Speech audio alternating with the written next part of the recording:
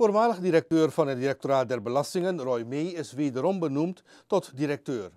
De benoeming vond plaats op voordracht van het ministerie van Financiën.